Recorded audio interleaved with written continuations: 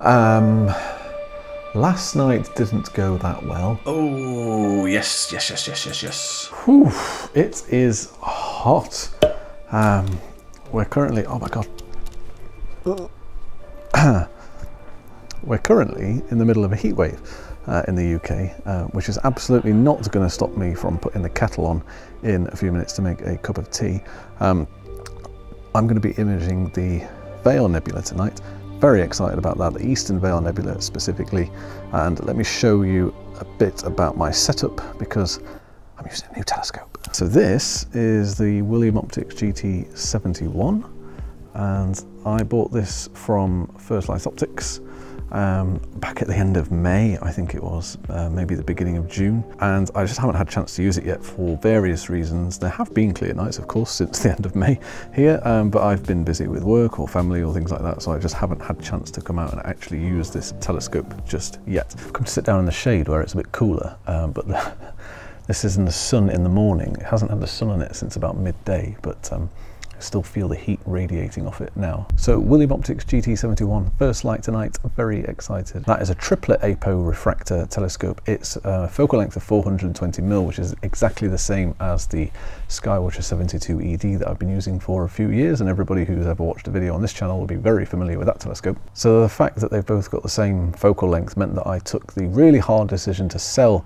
the 72 ED, and it was a hard decision because that's the first astrophotography telescope that I've ever used. So it was a very difficult decision to sell it, but I have sold it to somebody um, not too far away from here actually, and I'm sure the telescope will give them as much joy as it has given me over the years. I've decided to move to a chair. It's much cooler sitting here than it is against the brick wall.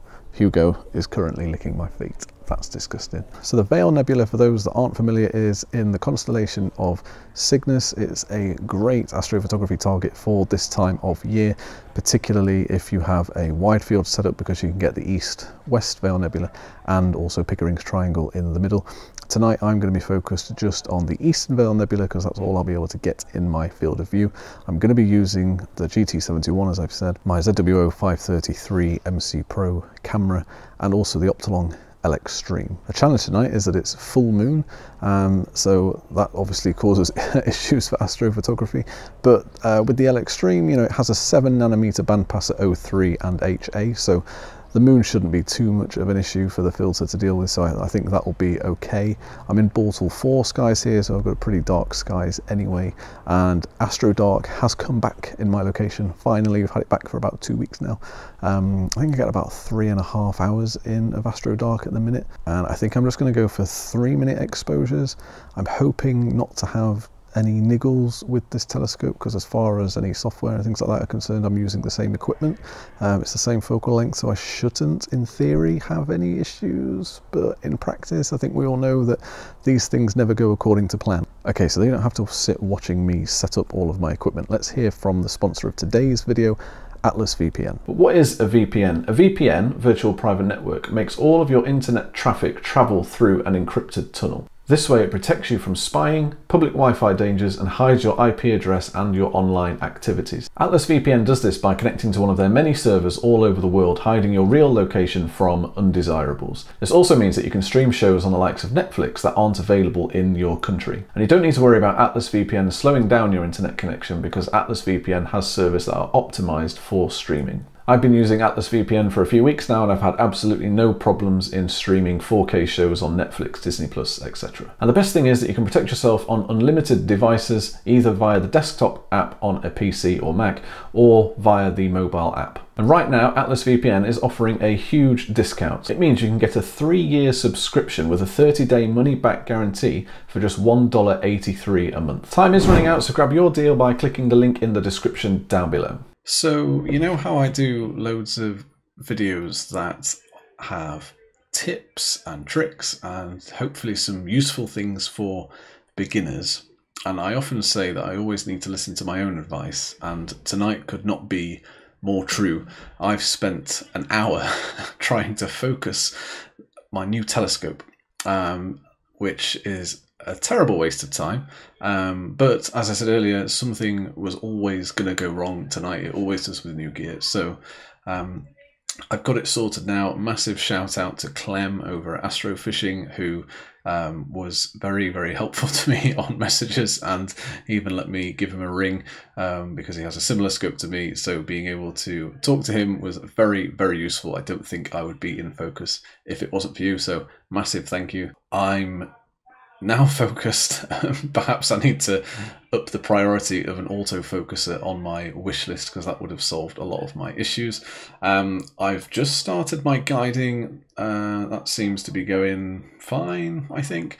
Um, and I'm just waiting for my first three minute exposure to come in.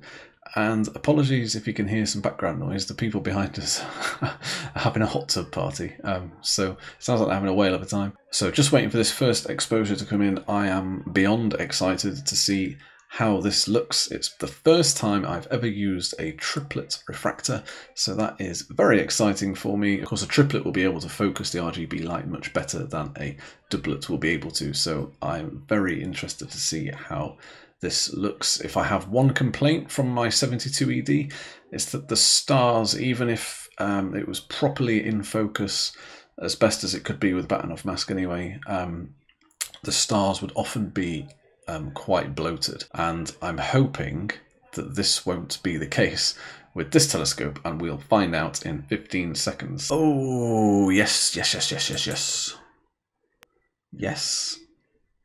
That looks awesome. Okay. And of course, you can see the Eastern Veil Nebula in the frame there, which is great. Um, stars look really good. Um, so that's good news. Um, yeah, I'm doing three minute exposures, um, which isn't ideal with the Optolong L Extreme actually, because of it being such a narrow bandpass on uh, HA and O3 the longer the better, really, for exposures. But with it being a full moon, um, I don't know, three minutes seems better. This image is actually going to be part of a bigger project that I'm doing with my astro buddy Clem, who I mentioned earlier. Um, we are going to take our data from the Eastern Veil Nebula. We've got different setups, different um, focal lengths, but we're going to see if we can merge that data in PixInsight and see how well that turns out. So be sure to look out for that video in hopefully a few weeks' time, but might be a little bit longer depending on weather, of course. Kind of feels like this recording's been a little bit all over the place. Um, sorry, we're now in the kitchen. It's the next morning. I've got my cup of tea. Um, it's got my name in it in case I forget who I am. Last night didn't go that well. Um, so eventually, after getting focused, um, I started taking some images and it was all going really well. Um, and it came to about one o'clock ish in the morning to do a meridian flip. And the flip itself went totally fine and it plate solved. And then for some reason, the rig never took another image after that. I, I don't really know why, that's never happened to me before. I used to babysit my equipment um, while doing a meridian flip. I always looked at when a flip was going to happen and would make sure that I was with the equipment um, to one, make sure that there weren't any sort of snagged cables or anything like that, but also to make sure that it did actually carry on imaging after the fact. But I haven't done that for about a year because I never had any issues with any meridian flips. So when a flip is happening at two o'clock in the morning or something like that, and I can't be bothered to get up uh, to have a look and see if it's been successful or not, quite frankly.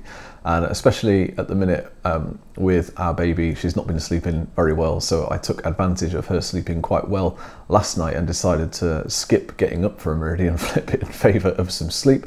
The downside of that being that I only have one hour's worth of data so far. The forecast isn't looking great for tonight. One app says it's going to be clear, one app says it's going to be totally cloudy, another app says it's going to be intermittent. So anybody's guess at the minute as to what's going to happen tonight. So I will try again if possible, um, but if not, then I will just release this video with one hour of data. I'm always happy to share my successes as well as my failures because I think it's really important to show that we're all human and you know mistakes happen. This hobby is very complex, and even if you've been doing it for several years, then you know things will go wrong and you'll make mistakes and that's just the way this hobby goes sometimes so um, frustrating yes but on the flip side, I've got a new telescope with an hour's worth of data, and that happened on the first night that I took the telescope out. I hadn't even tested it during the day, which is another thing that I should have done um, to make sure that I could actually focus. But at least I've got an image that I'll be able to share, whether that be one hour of data or whether, whether that be you know five, six, ten hours of data, then I'm going to share it and I hope you like it. Thank you so much for watching this video. Don't forget to click the link down in the description or on the pinned comment to grab three months free worth of Atlas VPN and $1.83 a month. It's an absolute bargain. Highly recommend that you go and check that out and I will see you in the next video.